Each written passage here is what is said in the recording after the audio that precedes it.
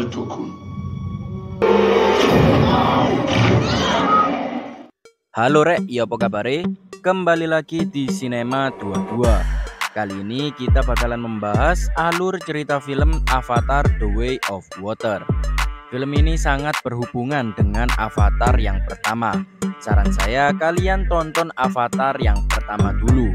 Link ada di deskripsi di film yang kedua ini bercerita tentang Jack Sully yang masih bertarung melawan manusia untuk mempertahankan Pandora. Yowes tanpa berlama-lama langsung saja kita ke alur ceritanya Tapi sebelum itu jangan lupa untuk like dan subscribe serta nyalakan tombol loncengnya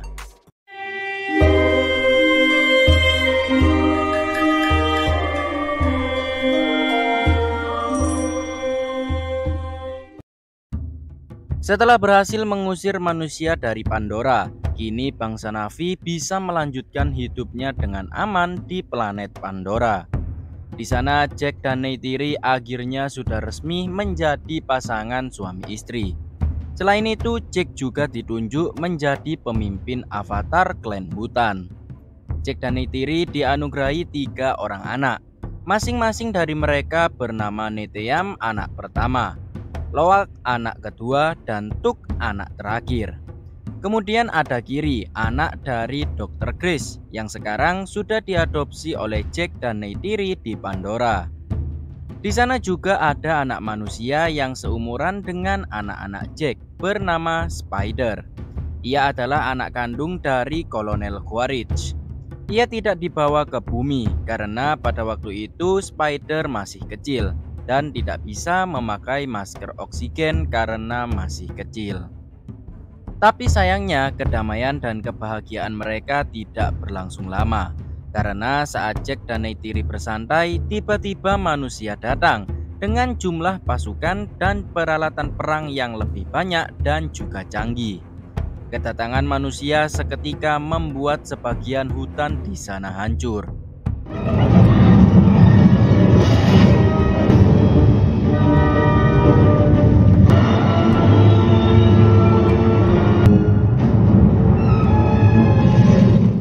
Enam tahun berlalu, Kolonel Quaritch yang sebelumnya sudah tewas kembali hidup dalam tubuh Avatar. Perusahaan RDA yang sebelumnya mempekerjakan kolonel sudah mengambil ingatan kolonel saat ia masih hidup dan sekarang memasukkannya ke tubuh Avatar. Kali ini manusia ingin mengambil alih Pandora dan hidup di sana karena planet bumi yang sekarang sudah sekarat. Tugas kolonel masih sama di film pertama, yaitu memburu Jack Sully yang sudah berkhianat kepada kaum manusia. Dan ketika Jack Sully ditangkap, bangsa Navi akan gampang dimusnahkan karena tidak ada pemimpinnya. Di hutan, Jack bersama bangsa Navi lainnya membajak kereta pengirim senjata milik RDA yang akan dikirim ke markas besar.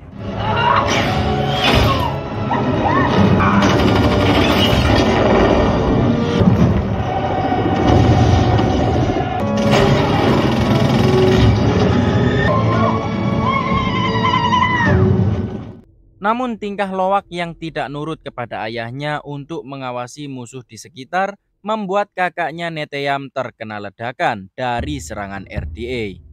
Karena sifat Loak yang tidak nurut dan menyebabkan masalah, Loak pun harus kena marah dan dihukum oleh ayahnya. Sin berganti ke markas besar RDA. RDA membangun markasnya sangat cepat dengan bantuan robot canggih yang bisa membangun dalam beberapa hari saja. Di sana kolonel bertemu dengan seorang jenderal bernama Artmore. Kolonel mendapatkan misi untuk pergi ke markas mereka yang dulu. Di sana kolonel melihat rekaman saat ia tewas dibunuh Neytiri serta melihat tubuh manusianya yang sekarang sudah jadi tengkorak. Kedatangan mereka dibarengi oleh kedatangan anak-anak Jack yang saat itu sedang bermain. Locke yang melihat mereka segera melaporkan ke ayahnya. Namun sayang tak lama melapor ke Jack, Loak dan lainnya tertangkap oleh kolonel.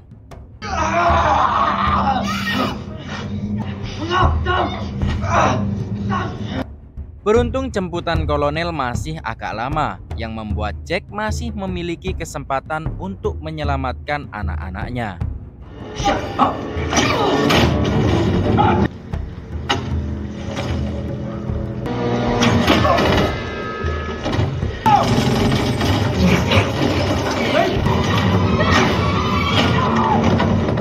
Jack dan Neytiri berhasil membabat habis sebagian dari anggota kolonel. Namun sayangnya Spider terjatuh ke jurang yang membuat dirinya ditangkap lagi dan dibawa ke markas RDA. Spider kemudian dipaksa memberitahu keberadaan Jack dan kawanannya yang bersembunyi dengan alat yang sangat canggih. Tapi hal itu tidak mempan bagi Spider yang tidak mau berkhianat. Jack tidak tega melihat anaknya tersiksa dan langsung menghentikan alat tersebut. Kolonel bilang ke jenderal jika ia akan melakukan dengan pendekatan secara halus kepada Spider. Kolonel kemudian memberitahu jika ia adalah Kolonel Quaritch yang ingatannya sudah dimasukkan ke avatar. Kolonel ingin Spider membantunya menemukan Jack dan jika tidak mau Spider akan disiksa menggunakan alat canggih tadi. Ternyata pendekatan kolonel berhasil membuat Spider membantunya mencari posisi Jack. Di sisi lain, Jack menyadari jika keluarganya tidak aman dan menjadi incaran oleh pasukan kolonel. Oleh karena itu, Jack mengajak keluarganya untuk pindah agar rakyat Navi di hutan tidak ikut diburu oleh RDA. Ditambah dengan diculiknya Spider membuat besar kemungkinan keberadaan mereka diketahui. Pada akhirnya Jack melepas jabatan kepemimpinannya dan memberikan jabatannya kepada salah satu avatar yang ia percaya untuk memimpin suku Navi. Jack beserta keluarganya pun segera pergi untuk bersembunyi. Thousands of islands, unknown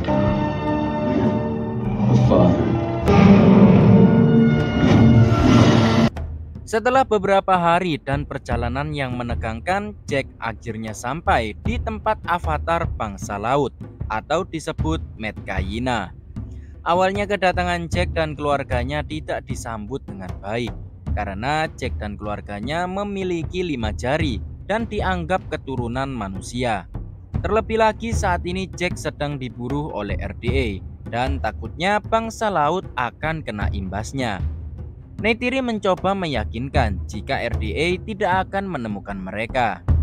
Karena kasihan pemimpin bangsa laut bernama Tonowari mengizinkan Jack tinggal. Terlebih lagi Jack adalah Toruk Maktu dan mantan pemimpin bangsa hutan. Kedatangan Jack tidak semata-mata bersembunyi saja.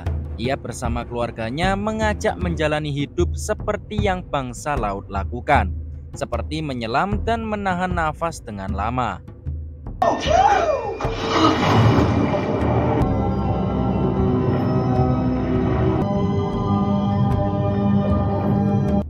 Anak dari Tonowari bernama Sirea dengan segenap hati mau membantu anak-anak Jack agar terbiasa dengan kehidupan bangsa laut. Berbeda dengan Neteyam dan Loak, Kiri dan Tuk yang mempunyai kekuatan tersembunyi tidak mengalami kesusahan dalam menahan nafas dan mengendarai hewan laut. Jack juga belajar mengendarai ikan terbang yang dikenal susah untuk ditunggangi. Anak Tonowari satunya bernama Aonung terus membuli anak-anak Jack hingga akhirnya Loak pun bertarung.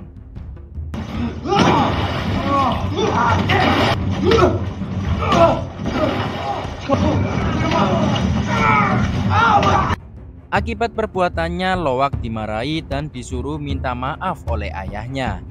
Dengan perasaan terpaksa, Loak pun meminta maaf kepada Aonung.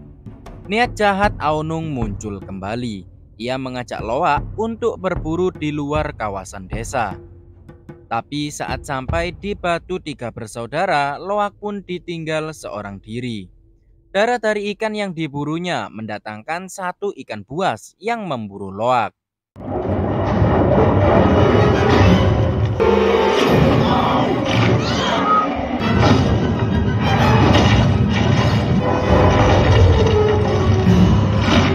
Loak yang kehabisan napas terpaksa naik yang membuat dirinya menjadi sasaran empuk. Beruntung satu ikan raksasa yang dikenal dengan nama Tulkun datang membantu Loak yang sudah kehabisan napas. Ternyata Loak masih hidup diselamatkan oleh Tulkun. Sebagai balas budi, Loak melepas tombak di sirip Tulkun dan mereka berdua pun berteman. Di desa, Jack bergegas mencari anaknya setelah Aonung mengaku meninggalkan Loak di pulau tersebut. Beruntung Loak berhasil diselamatkan, tapi Loak menutupi perbuatan Aonung. Ternyata hal itu ia lakukan agar Aonung tidak dimarahi. Karena hal itu pun Loak dan Aonung pun sekarang berteman. Di sisi lain, kolonel bersama pasukannya bersiap-siap untuk pergi ke bangsa hutan. Kolonel juga berencana untuk berbaur dan mempelajari kehidupan seperti bangsa Navi. Namun sayangnya, kolonel mengetahui jika Jack sudah pergi dari hutan. Karena tak tahu Jack ada di mana, Jack disuruh jenderal untuk bergabung dengan pemburu Tulkun. Karena mereka mengetahui tentang pulau-pulau di Pandora. Di desa, gerombolan Tulkun mulai berdatangan bangsa laut menganggap Tulkun adalah reinkarnasi leluhur mereka. Kolonel terlihat sudah mulai melakukan pencarian di desa lain. Di sana, kolonel menggeledah dengan paksa dan akan membunuh bangsa laut jika tidak memberitahu posisi Jack.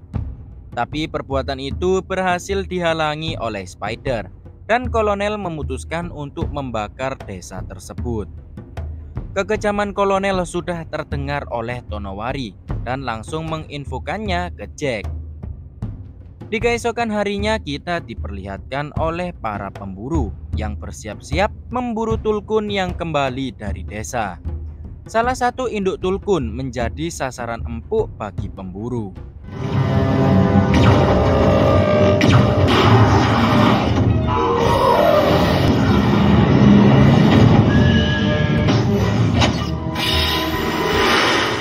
Setelah induk tulkun tewas, para pemburu mulai mengambil cairan otak tulkun. Cairan tersebut sangat mahal karena bisa membuat manusia awet muda. Bangkai ikan tulkun dibiarkan mengambang dengan tujuan memancing Jack keluar. Benar saja, tak lama tulkun mengambang, bangsa laut menemukan bangkai tulkun yang sudah dibunuh oleh kolonel. Hal itu membuat bangsa laut sangat marah Terlebih lagi, Tulkun yang mati adalah reinkarnasi dari saudari istri Tonowari. Karena kejadian itu, bangsa laut menyalahkan Jack dan mereka akan bersiap untuk menyerang balik. Tapi Jack menenangkan mereka dan melarang bangsa laut untuk menyerang balik karena kekuatan mereka tidak sebanding. Jack mengusulkan untuk memberitahu Tulkun pergi jauh agar tidak diburu. Akhirnya semuanya mendengarkan ide dari Jack. Begitu juga dengan Loak yang pergi memberi tahu Payama. Saudara dan temannya yang melihat hal gila Loak terpaksa membantunya. Namun sesampainya di sana Payama sudah ditarget untuk diambil cairan otaknya. Sembari berusaha mengambil tanda di Payama, Netea meminta bantuan ayahnya untuk pergi ke Pulau Batu bersaudara. Jack bersama lainnya pun segera pergi ke tempat Neteyam. Setelah berhasil mengambil tanda dari Payama, mereka semua ketahuan oleh kolonel. Mereka semua berusaha kabur dan mengelabui kolonel.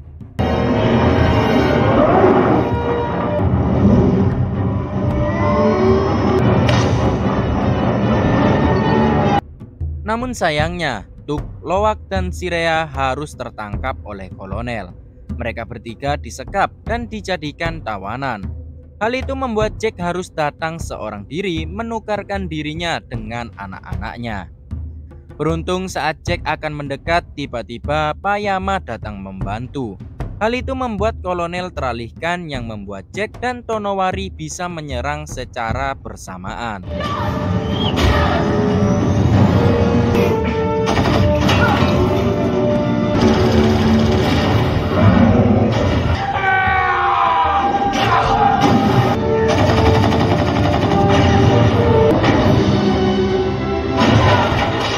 Dari dalam kapal induk, Spider juga turut membantu dengan mengacaukan kendali kapal yang membuat kapal induk menabrak karang dan membuat kapalnya rusak dan tidak bisa dikendalikan. Tak lama kemudian, Neteyam datang melepas ikatan mereka bertiga. Bukannya kabur, Loa mengajak Neteyam untuk masuk ke dalam menyelamatkan Spider. Mereka berdua akhirnya berhasil menemukan Spider. Namun saat kabur, Neteyam harus tertembak yang menembus dadanya sehingga membuat dirinya tewas dalam pelukan keluarganya. Hal itu membuat Neytiri sangat marah dan dendam kepada kolonel. Tak lama kemudian kolonel menghubungi Jack untuk kembali ke kapal karena Tuk dan Kiri berhasil ditangkap kembali. Tak mau kehilangan anaknya lagi, Jack dan Neytiri pun pergi melawan kolonel bersama pasukannya yang masih tersisa.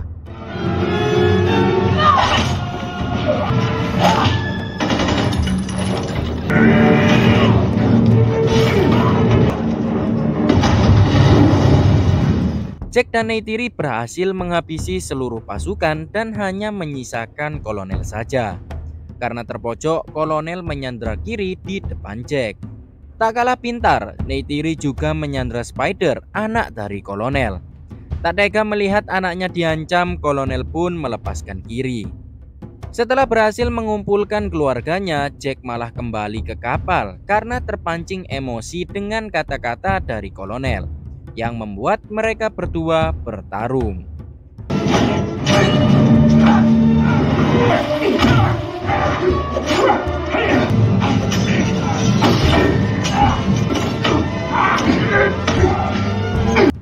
Derasnya air yang masuk ke kapal membuat Tuk harus terseret ke dalam kapal bersama ibunya.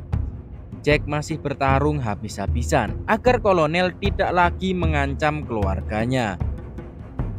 Akhirnya kolonel berhasil dikalahkan, namun Jack juga ikut tenggelam karena kelelahan dan kehabisan nafas. Sadar kedua orang tuanya tak muncul ke permukaan, Lowak dan Spider pergi untuk mencarinya. Kiri juga turut membantu dengan kekuatan misteriusnya yang bisa menggunakan hewan laut. Tak butuh waktu lama mereka berhasil menyelamatkan orang tua dan adiknya. Di sisi lain, Spider secara diam-diam menyelamatkan ayahnya.